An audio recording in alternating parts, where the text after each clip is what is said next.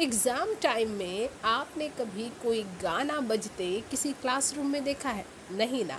देखिए जनाब, power star Pawan Singh का गाना पियर फराक वाली बज रहा है। वो भी कहाँ बज रहा है? क्लासरूम में बज रहा है।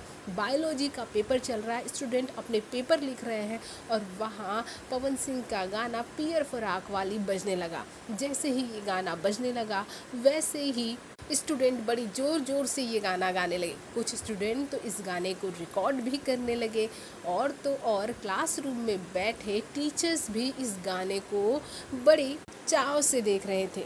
ये देखते ही कई बच्चे अपना पेपर जल्दी पूरा करके क्लास में डांस भी कर रहे हैं। ये गाना एक बार नहीं, बल्कि दो बार क्लासरूम में बजा। और तो और, इस गाने पर लोग इंजॉय भी कर रहे थे पेपर भी लिख रहे थे।